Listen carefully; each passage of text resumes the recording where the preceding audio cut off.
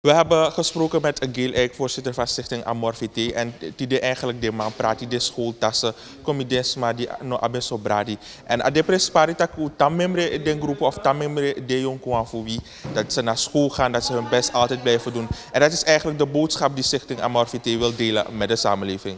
In ieder geval moet het zijn rond de 160, want er zijn, we hadden, onze target was 150, dat hebben we sowieso gehaald. En er zijn extra spullen. Dus ik denk dat er rond de 170 kinderen vandaag bedacht kunnen worden. En hoe is dit allemaal tot stand gekomen? Het is eigenlijk een idee dat de stichting Amorfit heeft geopperd ineens van, het was twee weken geleden, tweeënhalve week geleden, dat we zeiden van laten we toch een schoolspullenproject doen. Toen hebben we een inzameldag en een carwash gehouden. Maar kort daarvoor begonnen we al in te zamelen bij onze lenen checken. En een heleboel sponsors die hebben ons toen heel erg uh, ondersteund. En het is het resultaat dat we de mensen toch kunnen voorzien, of deze groep mensen toch kunnen voorzien. En wat was zo van belang dat jullie van het jaar toch wel het besluit hebben genomen om toch wel tassen te verstrekken naar de gemeenschap? wat het belang was, die klachten in de samenleving. Iedereen heeft het moeilijk. Ik lach erom, maar we weten best wat de situatie in het land is. En als je hand kan helpen, uh, educatie is erg belangrijk. Dus vanuit dat kader bekeken hebben we besloten om toch dit te kunnen doen. Dat ouders, uh, dat tenminste een groep kinderen gaat iedereen kunnen helpen. Dat je kan, kan zeggen van hey, die ouders zijn tenminste geholpen en hoeven die kinderen niet thuis te houden omdat die nog allemaal money om schoolspullen te kopen. En als je kijkt van hoe vind je dit project toch wel succesvol als we kijken naar de tijdspan dat jullie hebben gebruikt om dit te bewerkstelligen? Ja, heel succesvol zelf.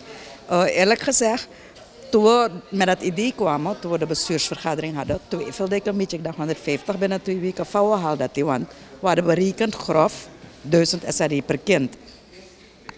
We hebben meer dan net binnengehaald.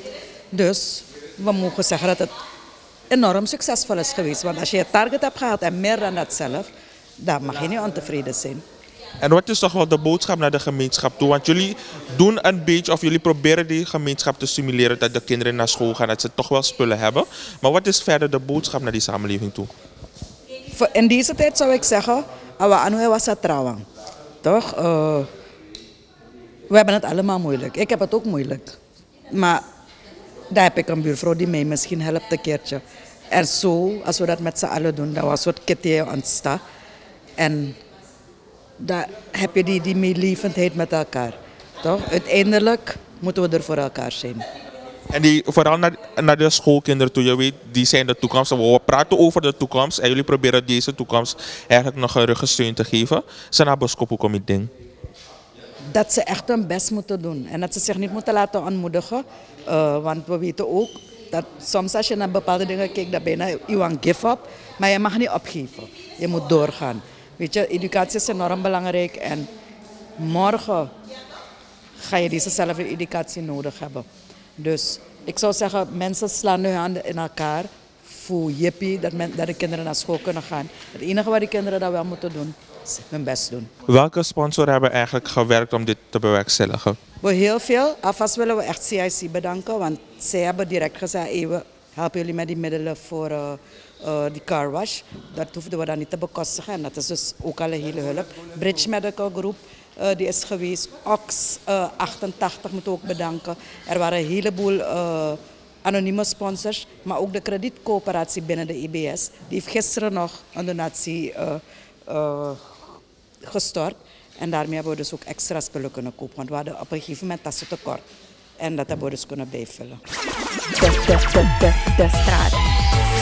сестра.